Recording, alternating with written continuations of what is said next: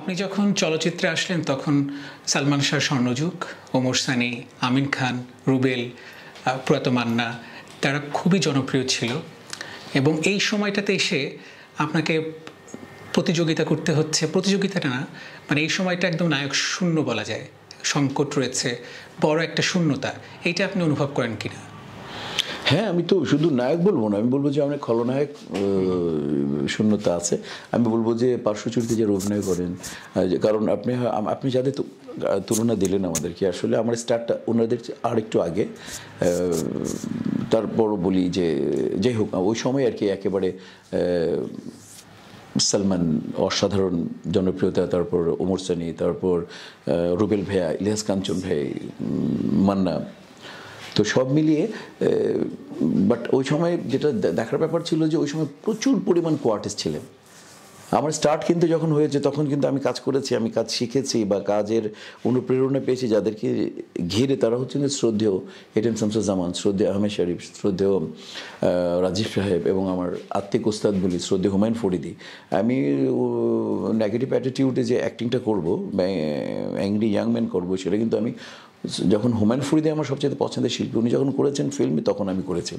তো আমি কিন্তু আসলে, আমি ওনাদের সাথে কাজ করে কাজ যতটুকু শেখা, দেখা, ভাবা, ওনাদের আমার ভাবনাটা, কাজের ভাবনাটা ওনাদের কাছ থেকেই। পরে আমি যে হিরোগুলোকে দেখলাম যে আপনি যে নামগুলো বললেন এর এর মধ্যে আরও দুটো নাম আপনি নেন সেটা হচ্ছে যে রিয়াজ ফিরদৌস এরাও কিন্তু স্টার সুপারস্টার ছিলেন। আমি এদের সাথেও কাজ করেছি। তো বিষয় হচ্ছে যে আমি এবং জসিম ভাই আমি জসিম ভাই স্টার তখন জসিম ভাই শাবান আপুর সাথে কাজ করেছি আমি রেগুলার। তো তারা তো এতগুলো স্টার জসিম ভাই বলি আমি, জসিম ভাই শ্রদ্ধেয় জসিম ভাইয়া, তারপর হচ্ছে ইলিয়াস কাঞ্চন তারপর হচ্ছে রুবেল ভাইয়া, তারপর সালমান ওমর সানি, মান্না, তারপর হচ্ছে রিয়াজ ফিরদৌস, সাকিল, তারপর হচ্ছে আলেকজান্ডার বো ছিলেন কিছুদিন খুব ব্যস্ত, খুব ভালো পজিশনে আমিন খান, তারপর হচ্ছে আমার বন্ধু অমিত হাসান, তারপর কাজী কাজী হায়াত ভাইয়ের যে ছেলে ও কিছুদিন মান্না ভাই মরার পর বেশ ভালো কাজ করেছে মারুফ। তো এই এই মানে আমি কিন্তু ইনশাল্লাহ এদের সাথে কাজ করেছি এবং তখন কিন্তু কোয়ার্টিস্ট অনেক ছিলেন। গোলাম, শ্রদ্ধেয় গোলাম মুস্তফা ছিলেন, শ্রদ্ধেয় আনোয়ার ভাই ছিলেন শ্রদ্ধেয় খলিল ভাই ছিলেন। তো কাজেই হচ্ছে যে মানে কোয়ার্টিস্ট না থাকলে আপনি তো একা কাজ করলে, আপনি স্ট্রাইকার মনে করেন। নায়ক, নায়িকারা হচ্ছে সাচ এ স্ট্রাইকার আমার দৃষ্টিতে। তারা তো গোল করতে তাদেরকে বলটা বানিয়ে দেবে কে? বলটা বানিয়ে কিন্তু আমাদের মতো শিল্পীরা দেয়। যারা পার্শ্ব অভিনেতা তারা বলটা বানিয়ে দেয়। মূলত ভিলেন ও, আর, বা, পার্শ্ব অভিনেতারা বানিয়ে দেয়। আমরা যখন কাজ করেছি শ্রদ্ধে আনোয়ার আপু ছিলেন আনুদি ছিলেন, রাশিদা আপু ছিলেন, খালিদা একটা কল্পনা ছিলেন। তো মানে মা চার পাঁচটা ছিলেন, বাবা এরকম চার পাঁচটা ছিলেন তখন আলমগীর ভাই কাজ করছেন তখনও রাজ্জাক ভাই কাজ করতেছিলেন, তারপর বুলবুল ভাই কাজ করতেছিলেন, ফার- ফারুক ভাই কাজ করতেছিলেন, তারপরে সোহেল রানা কাজ করতেছিলেন। কিন্তু এখন তো আপনি দেখেন কাজ করতেছে কে? আমি এমনি বলেছি মানে industry become a stationery stationery আমরা আউটলেট বলে একটা দোকান। ইন্ডাস্ট্রি ছিল একটা এক সময়। তো আমাদের সততা ছিল, আমরা, আমি কাজ করে গেছি। আমি শুধু এটুকুন বলব যে, আমি সততার সাথে ওই দিনও কাজ করে গেছি এই জন্য মনে হয় আজকেও আমি কাজ করে যাচ্ছি। আপনি আমার রানিং আমার পাঁচটা আমার বড় ছবি একেবারে রেডি পাঁচ, ছয়টা বড় ছবি। সাকিব খানের সাথে আমার ছবি রেডি সেটা হচ্ছে যে শাহিন সুমনের বিদ্রোহী। তারপর বদিলন খোকনের সাকিব খান আগুন। তারপর আমার নেক্সট আরিফিন শুভর সাথে আমার মিশন এক্সট্রিম তারপর আমার শান, শানের সাথে আমার, শান আর পূজার সাথে আমার হচ্ছে সরি সিয়ামার সিয়ামার পূজার সাথে হচ্ছে আমার শান ছবিটা। তারপর আমার বাপ্পির সাথে হল প্রেমের বাঁধন তারপর সাইমানের সাথে বাহাদুর জায়দ খানের সাথে। তো মানে টোটাল ওদের কিন্তু ও তারপর অনন্ত ভাইয়ের সাথে আমার হচ্ছে দিন দিনদার ডে দেখেন ছয়জন এরা মনে করেন। এই মুহূর্তে আমি ছটা নায়কের নাম বললাম বিগ বাজেটের ছবিগুলো। ছটা ছবি কিন্তু ওয়ান অ্যান্ড অনলি আমি।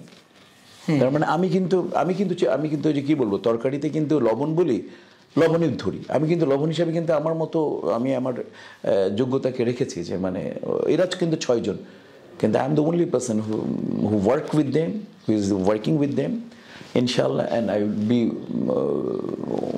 working with them তো কাজে হচ্ছে যে দেখেন এরকম আসলে, এরকম দশ, আমার মতো এই ইচ্ছা, এই আকাঙ্ক্ষা, এই ভালোবাসা, এই ডেডিকেশন নিয়ে দশটা থেকে পনেরোটা লোক চাই বিভিন্ন ওয়ার্ডে লাইক শীর্ষ নায়ক চলে আসে সাকিব খান ওর সাথে আরও চারটা নায়কের দরকার।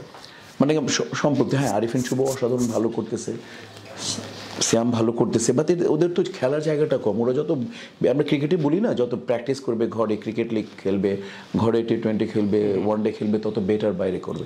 তেমনি যদি কম্পিটিশনটা বেশি হতো তাহলে অনেক বেশি থাকা, ভালো বেটার বেটার রেজাল্ট বেটার পারফরমেন্সটা করা আশা করা যেত। তো এই বাচ্চারাও খেলতে, সবাই। এখন সাকিবের হাতে ছবি কম, অন্যান্য শিল্পীদের হাতে ছবি কম। বাট এটা যদি পুরো ইন্ডাস্ট্রি থাকতো, তাহলে এরা সবাই কাজ করতো আরও কোয়ালিটি এরা নিজেকে নিজে তৈরি করতো।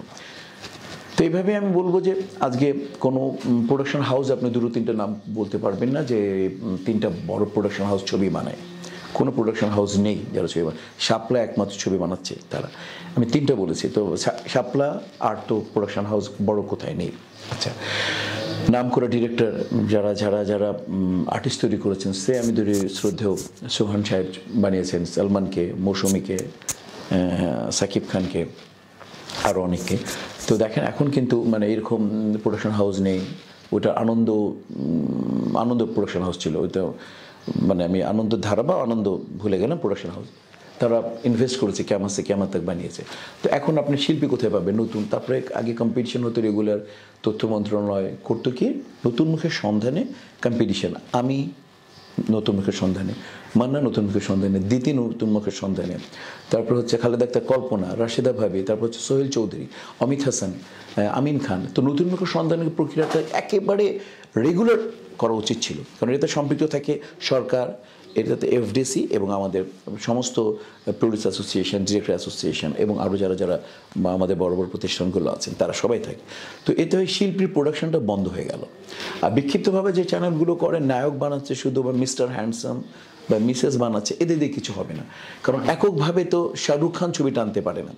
এককভাবে তো কোনো খানি ছবি টানতে পারে না। আপনারা আমার থেকে ভালো জানতে পারবেন যে এককভাবে কখনো ছবি তোলা কিছু দিন থাকে, এককভাবে কিছু লোক ভালো যায়। কিন্তু আসলে পুরো ছবিটা ভালো হতে হবে।